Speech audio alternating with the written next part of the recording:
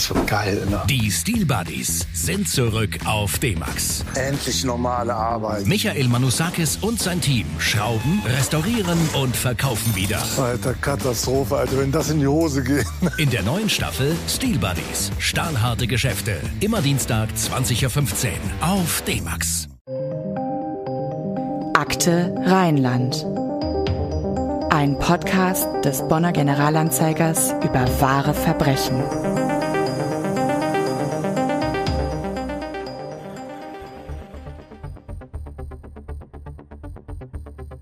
Wenn Barbara Schreiner ihren Sohn Daniel besucht, dann kann sie mit ihm über Fußball sprechen oder über Politik. Sie kann Englisch mit ihm sprechen und Französisch. Doch was sie ihm heute erzählt, wird er morgen nicht mehr wissen. Daniels Kurzzeitgedächtnis ist vollkommen zerstört. Er ist halbseitig gelähmt. Die zehn Schritte, die er zwischenzeitlich zu laufen in der Lage war, sind heute unmöglich. Daniel kann kaum noch stehen, um vom Bett in den Rollstuhl umgelagert zu werden. Der heute 35-Jährige, der einmal Medizin studieren wollte, ist ein Pflegefall. Eine halbe Stunde in einer Nacht vor gut zwölf Jahren hat sein Leben und das seiner Familie für immer verändert. Und bis heute weiß seine Mutter nicht, was in dieser Nacht auf den 9. Januar 2011 mit ihrem Sohn geschehen ist. Hallo, wir begrüßen euch zu einer neuen Episode von Akte Rheinland, dem True Crime Podcast des Generalanzeiger Bonn. Hier sprechen wir an jedem zweiten Donnerstag über Kriminalfälle und Verbrechen aus der Region Bonn. Mein Name ist Johanna Lübke und vielleicht ist es euch schon aufgefallen. Normalerweise meldet sich ja hier meine Kollegin Anna-Maria Bekes als erste zu Wort. Heute ist sie aber ausnahmsweise mal in einer anderen Rolle hier und zwar als Expertin für unseren heutigen Fall. Ja, das stimmt. Hallo. Daran muss ich mich ehrlich gesagt auch erstmal gewöhnen. Aber ja, in den heutigen Fall habe ich mich ziemlich tief eingegraben. Also äh, noch tiefer als normalerweise, weil er mich schon damals, als das Ganze passiert ist, beschäftigt und irgendwie auch nie losgelassen hat.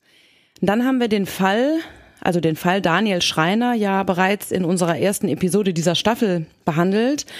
Und damals hatte ich ja schon angedeutet, dass sich ein Polizist, der damals ermittelt hat, bei mir gemeldet hat. Und darum wird es heute gehen, aber auch darum, wie es Daniel und seiner Familie heute geht. Denn ja, ich durfte auch mit seiner Mutter sprechen. Ich bin auf jeden Fall sehr gespannt, aber vielleicht fangen wir trotzdem noch mal von vorne an, weil vielleicht nicht alle die letzte Episode dazu gehört haben. Kannst du noch mal erzählen, was damals passiert ist? Ich versuche also ich versuche mich kurz zu fassen. Ich würde trotzdem, glaube ich, allen empfehlen, vielleicht nochmal in die Episode 1 aus dieser Staffel reinzuhören. Das ist der zweite Fall, den wir da besprechen. Aber in aller Kürze, es geht hier um Daniel Schreiner. Der war am 9. Januar 2011 23 Jahre alt. Der war am Vorabend dieses Tages, also dem Samstagabend, dem 8. Januar, mit Freunden in Köln in der Diskothek Klapsmühle auf dem Hohenzollernring feiern. Ist früher als seine Freunde nach Hause oder raus aus der Disco, sagen wir es so. Er ist früher gegangen, die anderen haben noch weiter gefeiert. Er hat dann mutmaßlich, aber selbst das ist nicht hundertprozentig geklärt, aber das ist das, was am nächsten liegt, ein Taxi genommen und ist in Richtung Bonn gefahren. Dort ist er dann gegen drei Uhr nachts ungefähr eine halbe Stunde nachdem er in Köln aufgebrochen war, mit schwersten Verletzungen am Rande der Autobahn gefunden worden, im Kreuz Bonn Nord. Und Daniel ist seitdem schwerst behindert. Darüber werden wir später noch sprechen. Ausschlaggebend dafür, dass wir das heute besprechen nochmal, ist, dass dieser Fall sehr rätselhaft ist. Es war erst von einem Unfall ausgegangen worden. Es war von einem sehr, sehr hohen Promillewert ausgegangen worden. Beides stellte sich als völlig falsch heraus. Zumindest der Promillewert ist definitiv falsch. Beim Unfall gehen wir schwer davon aus, dass das nicht sein kann. Auch das erklären wir in der ersten Folge. Und jetzt geht es eben darum, was ist da in Wirklichkeit passiert und ehrlich gesagt vor allem darum, wer hat das getan? Denn es ist davon auszugehen, dass dem Daniel etwas angetan wurde, das zu diesen Verletzungen geführt hat. Genau, das war jetzt quasi der Stand, über den wir beim letzten Mal ja sehr ausführlich gesprochen haben. Das war die Episode 1 von Staffel 5. Hört da gerne nochmal rein. Wir verlinken euch die Folge auch in den Show Notes zu dieser Episode. Und wie ging es dann weiter? Ja, wie gesagt, ich konnte dann den Kontakt zu Hartmut Schremmer herstellen, dem Kölner Polizisten, der damals an der Unfallstelle war und der sich seitdem sehr in diesem Fall engagiert hat, also auch noch im Ruhestand, in dem er sich nämlich seit zwei Jahren befindet. Ich habe also nach einigen Versuchen über die Kölner Polizei endlich seine Handynummer bekommen und dann habe ich ihn einfach mal angerufen.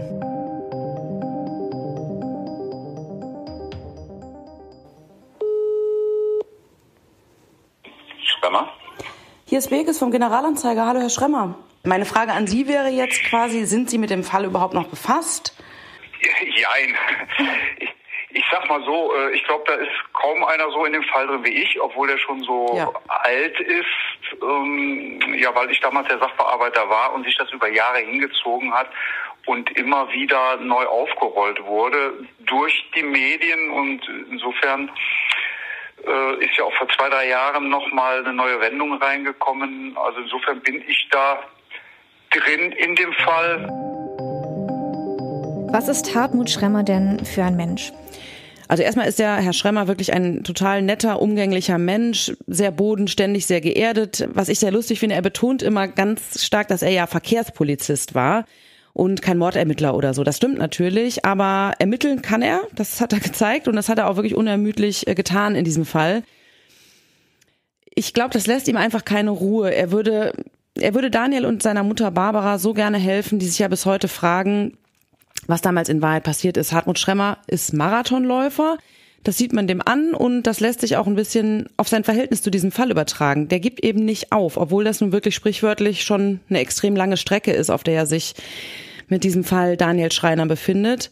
Und, und das ist sehr wichtig zu betonen, der Hartmut Schremmer, der darf ja gar nicht mehr selbst ermitteln, offiziell. Der ist kein Ermittler mehr, der ist kein Polizist mehr, der ist Privatmann. Und deshalb hast du ihn dann ja auch in seinem Wohnzimmer besucht und nicht auf dem Präsidium. Ja, richtig. Ich bin vor einigen Wochen zu ihm gefahren. Ich wurde da übrigens sehr gut mit Kaffee und mit Keksen versorgt, aber vor allem auch mit Informationen zu diesem Fall.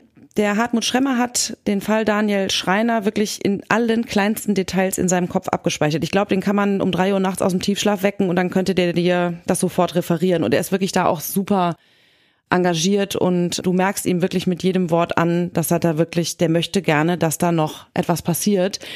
Ich weiß nicht, ich glaube, es könnte damit zu tun haben, dass er als Polizist auch Opferschützer war. Also das gibt es ja bei der Polizei, dass Beamte ähm, sich als Opferschützer weiterbilden lassen und die dann eben besonders auf die Opfer von, in dem Fall schweren Verkehrsunfällen, aber eben auch in anderen Fällen von ja, Angehörige von Mordopfern zum Beispiel im schlimmsten Fall eingehen können, dass die sich um die kümmern. Und das merkt man ihm auch an. Ich glaube, das ist wirklich das, was ihm am Herzen liegt und das kann ich sehr gut nachvollziehen. Also, das ist sehr beeindruckend, mit welcher Hartnäckigkeit er da immer dran geblieben ist. Hatte das denn Erfolg, also diese Hartnäckigkeit, die er da an den Tag gelegt hat? Das ist sehr schwer zu sagen. Ich sag mal so, wenn er nicht da gewesen wäre, wäre da, glaube ich, noch viel weniger passiert. Der Fall war ja zweimal bei Aktenzeichen XY ungelöst, auch auf die Initiative von Hartmut Schremmer hin. Nach der zweiten Folge 2019 hat sich dann, und damit hat vermutlich niemand mehr so wirklich gerechnet, tatsächlich eine neue Zeugin gemeldet. War das eine Bonnerin oder woher kam die? Nee, die Frau kommt aus dem Ruhrgebiet und nein, sie ist keine Augenzeugin dessen, was in dieser Januarnacht 2011 auf der Autobahn bei Bonn passiert ist. Aber sie konnte etwas sehr Wichtiges zu diesem Fall beitragen.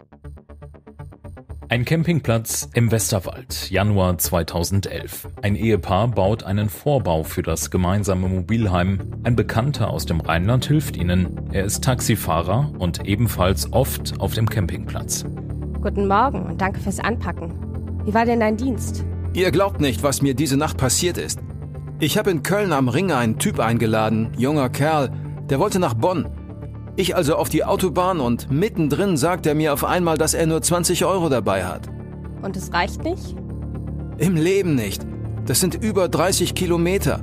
Ich weiß nicht, was der sich gedacht hat, aber ich habe den einfach rausgeschmissen.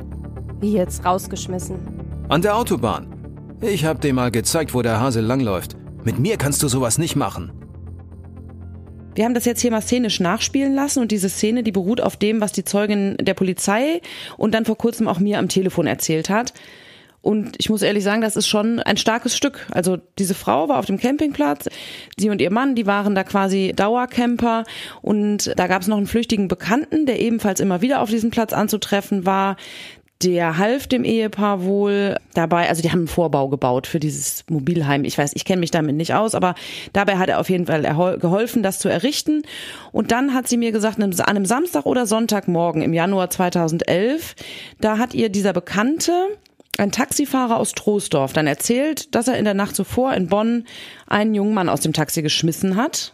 Wir haben es eben gehört, der hätte ihm gezeigt, wo der Hase langläuft. Also für die Frau war ganz klar, hat sie mir gesagt, der hat ihn richtig verprügelt. Das hat sie wortwörtlich so gesagt und auch der Polizei gesagt. Und dann, ich meine, das passt doch alles zusammen zu dem Fall, oder? Ja, das passt alles zusammen. Das Datum passt. Also wenn wir jetzt davon ausgehen, dass das ein Sonntagmorgen war, das passt einfach wie die Faust aufs Auge sozusagen. Die Fahrt passt von Köln nach Bonn, von der Disco, die Umstände passen. Es stimmt auch, dass Daniel ungefähr 20 Euro Bargeld noch dabei hatte und dass das natürlich zu wenig ist für die Fahrt von Köln nach Bonn. Ja, und die Folge dessen ist, da sitzt dann wenig später ein Mann, der in Troisdorf wohnhaft ist und als Taxifahrer arbeitet, im Vernehmungsraum der Bonner Kripo in deren Zuständigkeit ist der Fall jetzt gewandert, weil es jetzt erstmal, also offensichtlich kein Verkehrsdelikt mehr ist oder nicht mehr als solches behandelt wird. Und mit dabei sitzt auch Hartmut Schremmer von der Polizei Köln. Mich hat gewundert, dass der, wenn um Viertel nach sechs oder um halb sieben, wir sind um sechs Uhr da aufgeschlagen, mhm. bei seiner Frau. Er war nicht da. Er mhm. hatte Frühdienst Taxifahren. Und dann, ja, dann rufen Sie mal an, der soll kommen. Ja. Und Viertel nach sechs, halb sieben war der dann auch da. Und war total ruhig. Da, mhm. da bin ich doch aufgebracht mhm. oder sonst was irgendwie. Frag mich zumindest mal, ne? was jetzt Oder wer empört oder ja. ne, außer mich. Ne? Das Einzige, ich bin ein, zwei Mal reingegrätscht, wo ich was aus der Akte wusste, was der Kollege ja. noch nicht wusste. Ähm, wie nach dem, nee, wir haben keine gelben Autos damals. Die, die haben nur so Funkmietwagen, so Mercedes, sowas, mhm. ne, wenn du den Geschäftsmann mal wohin fährst. Mhm. Äh, ich sag, das stimmte nicht. Sie haben da, ach ja, Mhm. Na, so, ach ja, dann, ja, aber ganz ruhig. Was mich, was mir aufgefallen ist, wenn so eine Sachen waren, das waren zwei, dreimal, dann hat er im Bereich von hier bis hier, zum Kiefer bis zum Ohr, da fing das hier an zu flattern. Mhm. So, eine, so eine Nervengeschichte. War also ganz, ganz komisch. Der ließ auch alles mit sich ergeben. Jetzt müssen wir Fotos machen, Fingerabdrücke ja. und dies und das, das machen wir dann, gehen wir da runter. Da würde ich doch mal fragen, was soll der Scheiß? Oder hören Sie mal, was wollen Sie eigentlich von ja, mir? Das Oder ich auch was komisch. auch immer. Ne? Ja, ich kann da noch hinzufügen, Hartmut Schremmer hat mir mehrmals gesagt, dass er das klare Bauchgefühl hat, und das sagt vielleicht bei einem sehr erfahrenen Polizisten auch was aus, der war's. Und das Gefühl hat sich auch nicht mehr geändert. Also ich habe vom Bauchgefühl her, mhm. sag ich, kann ich Ihnen sagen, der war's. Aber der Mann, also dieser Taxifahrer, ist dann ja nicht weiter verfolgt worden, oder? Der Fall wurde dann ja eingestellt. Ja, richtig. Ich habe dazu mit Sebastian Buß von der Bonner Staatsanwaltschaft gesprochen und er hat mir erklärt, dass die Verdachtsmomente gegen diesen Mann sich nicht verfestigt hätten und das Verfahren deshalb erneut, das war ja schon mal eingestellt worden, eben eingestellt werden musste. Verwundert war die Zeugin allerdings darüber, also die aus dem Ruhrgebiet, dass die Polizei Bonn nie Kontakt zu ihr aufgenommen hat, obwohl die Ermittlungen dort lagen. Also das finde ich wenn ich das so sagen darf, sehr erstaunlich. Ich meine, du hast da einen möglichen Tatverdächtigen, der schon mal zur Vernehmung da war. Da wurde übrigens auch dessen Wohnung durchsucht und alles. Du hast eine Zeugin, die konkrete Hinweise gibt und dann redest du nicht mehr mit der persönlich ja, ich kann das persönlich nicht nachvollziehen. Habe natürlich deshalb auch die Polizei Bonn gefragt und die können diesen Vorgang nicht mehr nachvollziehen, weil aus Datenschutzgründen keine Unterlagen zu dem Fall, der ja inzwischen auch verjährt ist, mehr vorliegen. Also das hat mir der, der Polizeisprecher Robert Scholten auf Anfrage gesagt. Boah, das muss so bitter sein für die Angehörigen. Ja, absolut. Und der Fall, der hat natürlich noch eine ganz andere Dimension. Denn anders als bei anderen, ich sage jetzt mal mutmaßlichen Verbrechen, können die Angehörigen von Daniel ja nicht nur deshalb mich mit der ganzen Sache abschließen, weil das nicht aufgeklärt werden konnte. Nee, Daniels Eltern sind ja tagtäglich konfrontiert mit den Folgen dieser Nacht vor mehr als zwölf Jahren. Der Sohn, Daniel, der im Januar 2011 auf einen Medizinstudienplatz wartete, der ist ja nicht gestorben, aber er ist auch nicht mehr der, der er mal war. Und deshalb war es uns auch so wichtig, Daniels Mutter hier zu Wort kommen zu lassen. Du hast dich also mit ihr zum Interview getroffen. Wie war das so? Ja, das war sehr intensiv in vieler Hinsicht. Erstmal habe ich mich natürlich total gefreut, dass Barbara Schreiner bereit war, mit uns zu sprechen. Das hat auch sehr lange gedauert, bis sie sich dazu durchgerungen hat, weil sie eigentlich das muss man sagen, so ein bisschen müde ist von dem ganzen Kampf. Das werden wir gleich noch hören. Aber ihr war das schon wichtig, dass das nochmal angesprochen wird. Und dann ist sie eben hier bei uns im Verlag vorbeigekommen und wir haben gesprochen. Erstmal haben wir viel in Anführungsstrichen off the record gesprochen. Das gehört, gehört auch nicht alles in den Podcast hier. Auch was sie über ihren Sohn erzählt hat, feststeht, also sie ist eine total angenehme Gesprächspartnerin, die ist sehr klug, die formuliert sehr bedacht und sehr sachlich. Also ich finde das absolut bewundernswert ähm, angesichts ihres Schicksals. Ich meine, sie spricht da über ihren Sohn, dem sowas Schlimmes passiert ist. Sie ist da, wie gesagt, jeden Tag mit konfrontiert und äh, da gehört schon einiges dazu, dann da so sachlich zu bleiben. Ja, also für sie war das bestimmt, also sicher auch sehr intensiv und ganz bestimmt nicht leicht, das alles nochmal zu durchleben und zu rekapitulieren. Aber wir hören mal rein, was sie dir erzählt hat. Ja, und bezeichnend, wenn ich das vorher noch sagen darf, fand ich äh, gleich am Anfang, ich habe sie gefragt, was, was ist ihr Sohn Daniel für ein Mensch? Also was ist er für ein Mensch? Das war die Frage. Und am Grund, im Grunde hat sie es zumindest teilweise anfangs in der Vergangenheitsform erzählt. Also da wurde, wurde ganz deutlich, dass sich natürlich das Leben von Daniel und auch seine ganze Person durch diese eine Nacht völlig grundlegend verändert haben. Daniel ist ein sehr aufgeweckter Junge gewesen. Er hatte einen etwas schwierigen Start ins Leben hat sich dann aber wirklich durchgekämpft, äußerst liebenswert, hat einen überschaubaren, aber sehr guten Freundeskreis gehabt, war sehr gerne im Kindergarten, sehr gerne in der Grundschule und auch später am Gymnasium. Und äh, er hat äh, für sein Leben gern gelesen. Lesen ist eine große Leidenschaft. Er ist ein sehr politischer Mensch, hat sich alle relativ früh auch für Politik interessiert und Musik mochte er eben auch sehr gerne. Und er hat keinen sehr großen Freundeskreis gehabt, der war überschaubar, aber ich würde schon sagen, er war sehr beliebt. Wir haben dann natürlich über die Nacht auf den 9. Januar 2011 gesprochen, in der Daniel übrigens erstmals in seinem Leben eine Disco besucht hat. Das ist ja relativ ungewöhnlich. Der war damals 23 Jahre alt. Das war jetzt nicht so sein Ding, sagt seine Mutter. Also der ist nicht ständig feiern gegangen oder so. Und sie hat sich dann an die Nacht beziehungsweise an den Morgen danach erinnert. Es war merkwürdig. Ich habe ähm, relativ unruhig geschlafen. Mhm. Ich bin also äh, relativ spät eingeschlafen und kann das aber jetzt auch gar nichts Besonderem irgendwie festmachen. War einfach so eine, so eine Unruhe in mir. Mhm. Und dann so ähm, gegen fünf Uhr morgens klingelt es eben an der Wohnungstür und muss man erstmal realisieren, hast du das jetzt geträumt oder, oder mhm. klingeln und, und Sonntag und früh morgens und ja, und dann Sprechanlage und dann äh, war es eben die Polizei und hat gesagt, dass man den Daniel schwer verletzt, bewusstlos aufgefunden hat in der Nähe der Bonner Nordbrücke.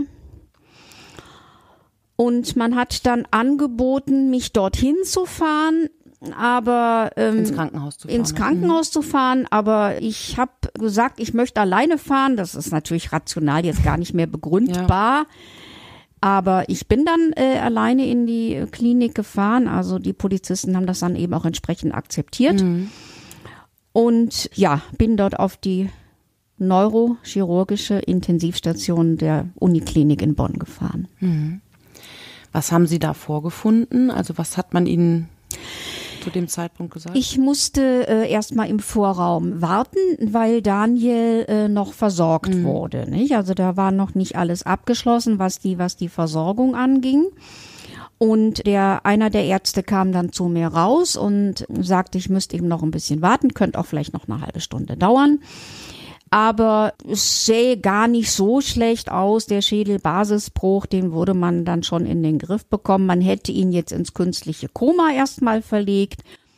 Und wenn ich also am Abend wiederkommen würde, dann könnte man schon mehr sagen. Dann könnte man den Zustand mhm. dann auch entsprechend einordnen. Daniel lag nach dieser Nacht 33 Tage lang im Koma. Erst nach vier Wochen wurde offenbar, so berichtet es die Mutter, ein MRT gemacht, also Bilder seines Kopfes im Magnetresonanztomographieverfahren. Da wurde dann schon deutlich, dass die Verletzungen weitaus gravierender sind, als zunächst angenommen war. Ja, dann war klar, das Kurzzeitgedächtnis ist quasi kaputt, lapidar gesagt, wobei zum Zeitpunkt von Daniels Aufwachen noch niemand ahnen konnte, wie diese Geschichte weitergehen würde. Sie können sich sicher an den Moment erinnern, als er dann aufgewacht ist. Ich glaube, Ihr Mann war bei ihm. Ja, es war so. Wir sind natürlich auch sehr häufig zusammen, aber wir sind natürlich auch wechselseitig zu Daniel gegangen, haben uns dann eben abgewechselt. Mhm. Mein Mann vormittags, ich nachmittags oder teilweise auch gemeinsam. Mein Mann kam also an dem Tag in die Godeshöhe und dann erzählte er mir, sagte eine Krankenschwester, ich habe Ihren Sohn heute früh gewaschen und da hat er gesagt, das Wasser wäre ihm zu kalt. Und das war, ja, das, das war eine Sensation. Ja. Das, das war wie ein Dammbruch. Also, er, er hat ein Empfinden und er äußert das auch noch. Nicht nur, dass er sich schüttelt und hu, äh, sondern er, er mhm. äußert sich auch noch, das Wasser ist mir zu kalt. Und dann ging das aber ganz langsam. Das mhm. war nicht so, dass er dann am nächsten Tag schon erzählt hat und, und, und. Aber äh, man merkte so die Blicke, der Blickkontakt, dass das ein Erwachen mhm. war, dass er also so ganz peu à peu ins Leben, mhm. ins Leben zurückkommt. Man muss dazu sagen, zu dem Zeitpunkt, als er aufgewacht ist, war Daniel schon in einer Spezialeinrichtung, in einer, in einer Reha, in der Frühreha sozusagen. Man hatte damals die Hoffnung, dass es sich bei dem Verlust seines Gedächtnisses um so eine vorübergehende Amnesie handelt, dass das Gedächtnis also wiederkommen würde. Und es wurden dann ganz viele Therapien begonnen, auch schon während des Komas übrigens. Und Daniel hat tatsächlich auch teilweise Fortschritte gemacht. Zum Beispiel konnte er mit Hilfe zehn Schritte laufen und heute ist das absolut undenkbar. Wie und wo lebt Daniel denn heute? Der wurde nach etwa einem Jahr von der Spezialeinrichtung in ein Pflegeheim in Bad Godesberg verlegt, wo er bis heute lebt. Das ist ein Heim für junge Menschen mit erworbenen, also eben nicht angeborenen Hirnschädigungen. Daniel ist schwerstbehindert mit der Pflegestufe 5. Das ist die höchste, die es gibt. Der hat ein Schädelhirntrauma erlitten und ist halbseitig gelähmt. Das gravierendste auch für sein Umfeld ist aber dieser Verlust des Kurzzeitgedächtnisses. Und Barbara Schreiner hat das ja sehr eindrucksvoll beschrieben im Interview. Er hat sein weitestgehend sein Kurzzeitgedächtnis verloren. Mhm. Das heißt, er hat ein relativ gutes Altgedächtnis. Er kann, Sie können mit ihm Englisch, Französisch reden, Sie können mhm. mit ihm Kreuzworträtsel machen, Sie können über Politik mit ihm reden. Er war ein Jahr in Amerika, mhm. er ist ein ganz großer Amerika-Fan. Aber äh, was das Aktuelle angeht, also wenn ich ihn jetzt besuche, äh, mhm. zu ihm komme und verlasse das Zimmer und, und komme zehn Minuten später wieder rein, bin ich neu da. Mhm. Also, oder wenn, wenn man, wenn wir mal in Urlaub sind und sind zwei Wochen nicht da, dann sagt er nicht, Mensch, wo wart ihr denn die zwei Wochen? Ja. Ne? Also er kann überhaupt nichts zeitlich einordnen, gar nichts. Daniels Familie hätte ihm gerne weitere und konstante Therapien ermöglicht. Das war aber eben nicht möglich. Warum ging das nicht? Ja, diese Intensivtherapie in der Reha-Klinik, die hört ja irgendwann auf. Also man hat darauf irgendwann keinen Anspruch mehr. Daniel wurde dann in das Pflegeheim verlegt, aber er war auch mehrmals einige Wochen in der geschlossenen Abteilung einer psychiatrischen Klinik, weil er auf gut Deutsch ausgerastet ist und das Heim ihn dann, also so hat es auch seine Mutter bezeichnet, und das Heim hat ihn dann eben dorthin geschickt. Und für die Familie war das, so berichtet die Mutter, der absolute Härtetest. Man muss auch sagen, da gehört Daniel natürlich überhaupt nicht hin. Sein Krankheitsbild ist ja ein ganz anderes. Er ist ja nicht psychisch erkrankt, er hat einen Hirnschaden durch diese schwere, schwere Körperverletzung. Also das erstmal so zur Vorgeschichte, warum das nicht möglich ist. Du hast es gerade schon gesagt, also dass seine Mutter es ja auch so beschrieben hat, aber was heißt denn genau, er ist ausgerastet? Daniel hat ebenfalls durch die Schädigung des Gehirns regelmäßig Anfälle. Das äußert sich so, dass er zum Beispiel auf seinen Rollstuhl oder auf die Bettkante haut und ganz laut schreit. Der Blutdruck steigt dann auf 200, der kalte Schweiß läuft ihm runter und das steigert sich eben immer weiter, solange bis ihn völlige Erschöpfung übermannt. Wenn man wenn man diese Anfälle rechtzeitig bemerkt, dann können vertraute Personen, also seine Mutter, sein Vater oder auch Pflegepersonal, ihn quasi noch zurückholen oder runterholen, indem sie ihn in den Arm nehmen, ihn beispielsweise nach dem Namen des Opas oder so fragen. Das bringt ihn dann wieder zurück aus diesem Anfall heraus, aber Das kann natürlich nicht immer klappen und so kommt es immer wieder zu diesen Anfällen, manchmal mehrmals am Tag. Was war denn jetzt mit den Therapien? Ja, ich äh, bin ein bisschen abgeschweift. Also Fakt ist, die Schreiners haben einen Antrag auf Opferentschädigungshilfe beim Landschaftsverband Rheinland gestellt. Der LVR, um das zu erklären, hätte den behindertengerechten Umbau des Hauses und alle Therapien gezahlt, die irgendwo Sinn ergeben hätten. Der Antrag wurde jedoch vom Sozialgericht in Köln abgelehnt. Das war im Mai 2012. Und der Grund ist, es ist nicht eindeutig beweisbar, dass Daniel tatsächlich Opfer einer Gewalttat geworden ist. Der traurige Witz an der Sache ist, dass Daniel als Opfer selbst nachweisen müsste, dass er eben ein Opfer ist und er kann das natürlich überhaupt nicht in seinem Zustand. Wie soll das gehen? Und noch trauriger ist, mittlerweile wurde das Opferentschädigungsgesetz insofern geändert, als für den Antrag gar nicht mehr ausschlaggebend ist, ob eine Gewalttat oder ein Unfall vorliegt. Aber Daniel hilft diese Änderung natürlich nicht mehr. Und für die Familie war das ein sehr, sehr großer Schlag. Das war so ein Schlag, mein Anwalt hat mir damals abgeraten, noch weiterzugehen, ans, ans äh, weitere Prozesse da vielleicht noch anzustreben. Und äh, ja, das, das war ein ganz, ganz, ganz schwerer Schlag, mhm. dass das nicht gegriffen hat. Denn wir hätten alle Therapien für ihn bekommen, wir hätten weitermachen können. Wir Daniel wäre mit der durch das Opferentschädigungsgesetz ermöglichten Hilfe heute in einem wesentlich besseren Zustand. Das kann man sagen, ja. Daniel kann sich also an die damalige Nacht überhaupt gar nicht mehr erinnern. Er hat sehr viel Kontakt mit zwei Kolleginnen, die auch Freundinnen von ihm sind, äh, gehabt, aus der Epileptologie, wo er ja gearbeitet hat, die ihn auch regelmäßig besucht haben. Und dann hat er gesagt, ja, ich, äh, ich, ich, ich, ich kann gar nicht alles sagen, meine Eltern leiden sowieso schon genug. Und das sind natürlich Sätze, ja, die man heute in einem ganz anderen Licht sieht. Mhm. Aber es, sie haben natürlich auch versucht, mit ihm drüber zu reden, aber er hat dann abgeblockt. Also ja. da, da war dann auch nichts weiter zu erfahren. Und später war das dann so, ja, waren das, äh, was waren das für Leute? War das einer? Waren das zwei? Das ging dann mehr so in die Richtung Suggestivfrage, dass mhm. es überhaupt keinen Sinn dass hatte. Man das, ja. Mhm. Ne, dass man es fast in den Mund gelegt ja. hat und, und das hatte dann aber auch keinen Sinn. Ne? Mhm. Das, das, ich, man weiß auch nicht, ob ihn das äh, nicht vielleicht auch gequält hat. Mhm. Aber Sie haben erzählt, Sie sind mal mit ihm über die Nordbrücke gefahren. Ja, er ist, mal, er ist mal zu einer ne? Therapie gefahren worden ja. über die Nordbrücke und es ist ja unmittelbar an der Nordbrücke, wurde er ja aufgefunden. Ja. Und dann sagte er, also hat uns dann der Fahrer berichtet von diesem mhm. Fahrzeug, äh, halt, halt, stopp, anhalten, stehen bleiben, Hilfe, Polizei holen. Hat Daniel zu seinem damaligen Freundeskreis denn noch Kontakt? Ja, das habe ich seine Mutter natürlich auch gefragt und die Antwort finde ich auch relativ traurig. Ganz konkreter Kontakt besteht noch zu einem dieser Freunde und der regelmäßig äh, sich erkundigt, wie es Daniel geht, der ihn auch besucht, was jetzt durch Corona allerdings sehr, sehr eingeschränkt mhm. war mittlerweile hat sein, äh, sein Freund äh, auch eigene Familie, zwei Kinder. Das ist natürlich klar, dass das dann äh, auch eine ganz andere Situation dann mhm. ist als damals, wo es passiert ist mit Daniel. Aber der Kontakt besteht und er erkundigt sich und aber ansonsten muss man wirklich sagen, ist das der einzige Kontakt, der wirklich geblieben ist. Mhm. Alle anderen Kontakte sind praktisch nicht mehr existent. Mhm.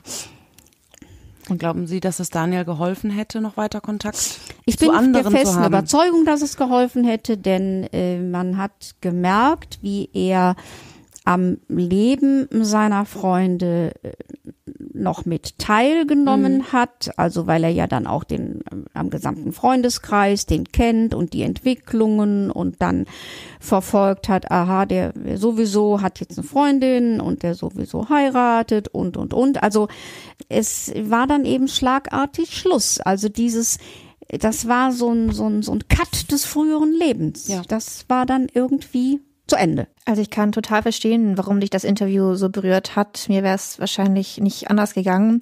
Und ich finde es auch absolut bewundernswert, dass Barbara Schreiner auch nach so langer Zeit und so vielen Rückschlägen nicht aufgibt und weiter für ihren Sohn kämpft. Und du hast sie ja auch gefragt, was sie sich davon erhofft oder wünscht. Meine ganz, ganz große Hoffnung wäre erstens mal, dass aufgeklärt wird, was passiert ist, mhm. was passiert ist, warum, durch wen. Das wäre natürlich für uns eine, eine große Hilfe. Ja. Um, weil für mich rechtfertigt nichts, kein Streit, kein gar nichts, dass ich einen jungen Menschen in die Schwerbehinderung prügle, was unumkehrbar ist. Und da haben wir auch den Knackpunkt in diesem Fall, oder?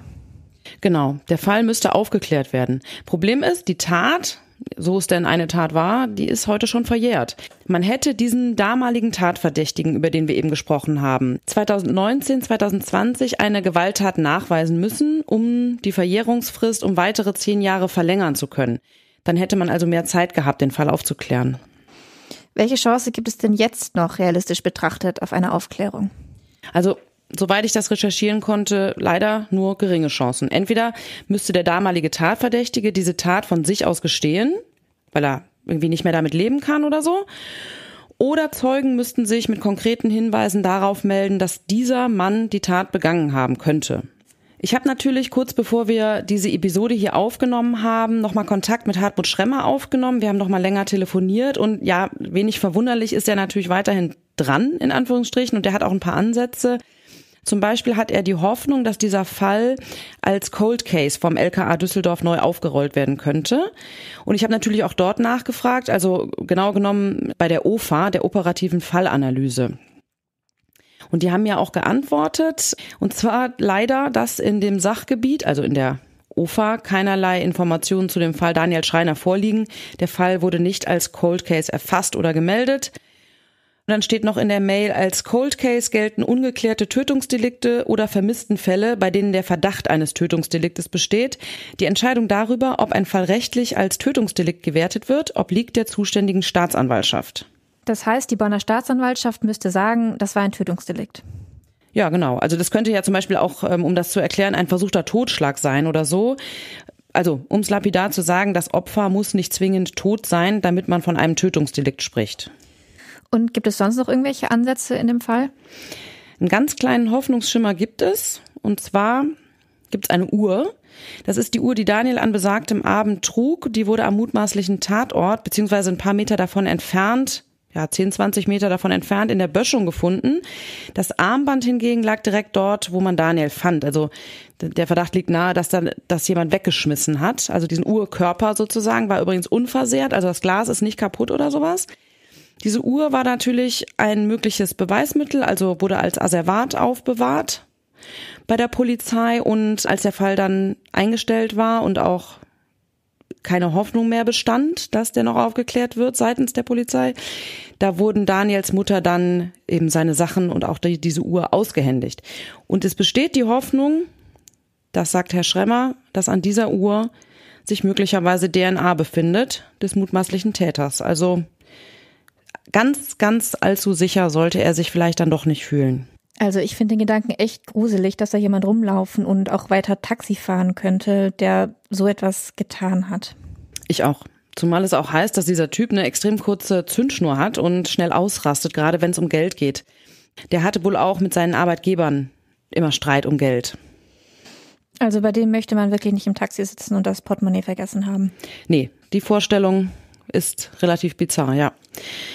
Ich muss auch ehrlich sagen, dieser Fall, der lässt mich, also ich kann Herrn Schremmer total verstehen, der Fall lässt mich auch nicht mehr los und ich hoffe wirklich, dass der doch noch aufgeklärt werden kann. Also, dass die Bonner Polizei vielleicht zumindest versucht, da nochmal was zu machen und nochmal tätig wird. Das würde ich Daniel und seinen Eltern von Herzen wünschen und ja, deshalb war es uns auch so wichtig, nochmal eine Episode zu diesem Fall zu machen. Und an dieser Stelle haben wir eine große Bitte an euch. Wenn ihr irgendwelche Hinweise zu diesem Fall habt, irgendwelche Erinnerungen, dann meldet euch gerne bei uns. Ja, und wir geben das dann natürlich gerne an die Polizei weiter. Daniel Schreiners Eltern haben für Hinweise, die zur Aufklärung des Schicksals ihres Sohnes führen, eine Belohnung von 10.000 Euro ausgesetzt. Ihr Sohn lebt seit 2012 im Pflegeheim in Bad Godesberg. Ein halbes Jahr nachdem sich sein Leben für immer änderte, bekam Daniel Schreiner Post. Die Zulassung für das Medizinstudium auf die er fast fünf Jahre lang gewartet hatte. Ja, und dann sind wir auch am Ende der heutigen Folge angelangt. Wir danken euch wie immer fürs Zuhören. Ihr helft uns sehr, wenn ihr unseren Podcast liked und teilt, euren Freunden und Freundinnen empfehlt. Und wenn ihr uns eine nette Bewertung bei Spotify oder bei Apple Podcasts hinterlasst und gerne auch bei Spotify diese kleine Glocke aktiviert, dann verpasst ihr keine neue Folge. Dankeschön, bis zum nächsten Mal. Tschüss. Tschüss, bis zum nächsten Mal. Das war Akte Rheinland. Der GA-Podcast zu Kriminalfällen aus Bonn und der Region. Akte Rheinland ist eine Produktion der Generalanzeiger Bonn GmbH. Redaktion und Produktion Anna-Maria Bekes und Andreas Deik. Sprecher Daniel Dähling und Martin Busch. Intro und Outro Charlotte Pekel. Grafik Sabrina Stamp.